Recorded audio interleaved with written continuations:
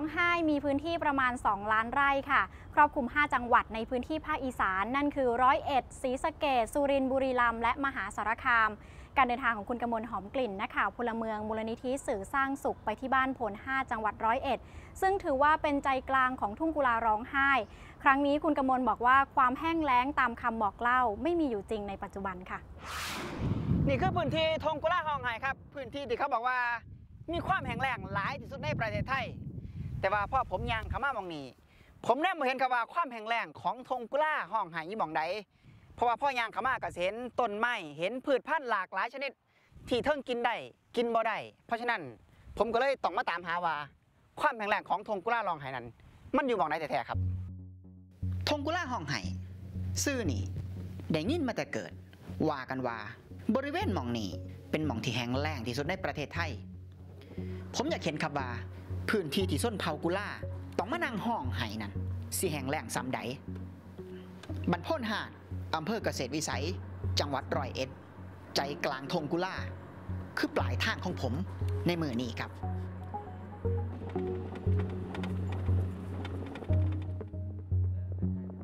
ยังมหันหอดหมู่บ้านเลยครับรถของผมก็ถึกสกัดจากประชากรโค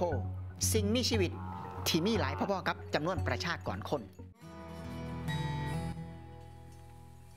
แม่นว่าสิเป็นหนาแรงแต่ทงกุล่าก็ยังพ่อมีหยาอ่อนขึ้น ให้สัตว์เลี้ยงได้เล่มหยากิน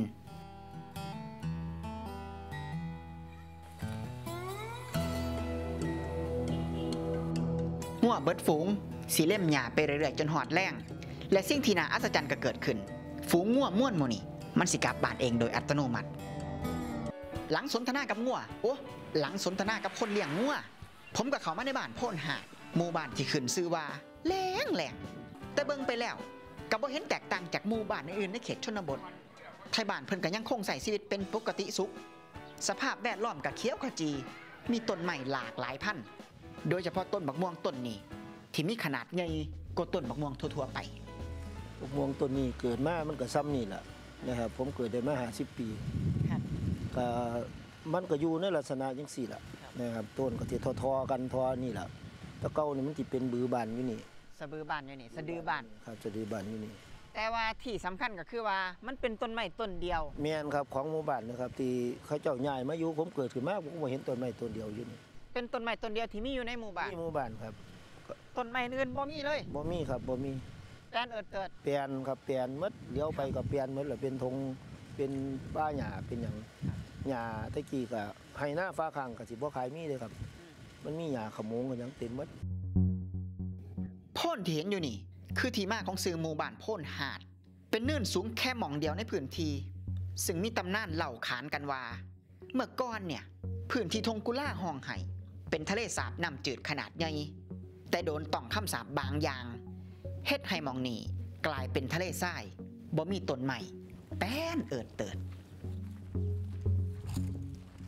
ตะกี้ถ้าเอาความไปกับประมาณ 40กว่าปีขึ้นหลังหมดละตั้งแต่แถวนี่แป้นเอิดเติดแปลนเนือเตือดครับผแต่มว่ามันก็มีชุมชนมีไทยบ้านมีหาอยู่หากินมีประเภทนี้วัฒนธรรมอยู่เป็นบ่ครับผมมี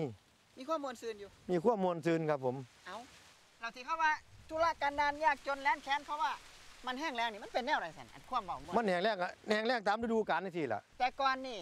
อันที่เขาว่าแรงนั่นก็คือหน้าแรงมันก็แรงครับหน้าฝนฝนก็ตกฝนก็ตกเพียงแค่ว่ามันนุ้ยก็ไม่ซื้อครับ แต่ว่าพื้นดินนี่มันเป็นแนวไหนมันยังซุ่มซื่นมันยังมีหมองลมหมองแกนอยู่แม่นบ่หรือแนวไหนมันมันก็ชุ่มชื้นทั้งหนาฝนนั่นแหละอ่าแต่ว่าหนาแรกนี่ก็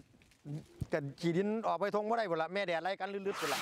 และวันพรุ่งนี้กลับมาติดตามแนวคิดของปราชญ์ชุมชนที่บ้านโพน5 จังหวัดร้อยเอ็ดค่ะ กับแนวทางการเปลี่ยนแปลงทุ่งกุลาร้องไห้ จากพื้นที่สีน้ำตาลไร้ต้นไม้ ให้กลายเป็นพื้นที่สีเขียวที่สามารถสร้างรายได้ให้กับชาวบ้านดำรงชีพตลอดทั้งปีค่ะ คุณผู้ชมสามารถสื่อสารเรื่องราวใกล้ๆตัวของคุณ ผ่านทาง facebook.com/citizenthaipbs หรือตามช่องทางที่ปรากฏอยู่นี้ เพราะพลังการสื่อสารอยู่ในมือคุณ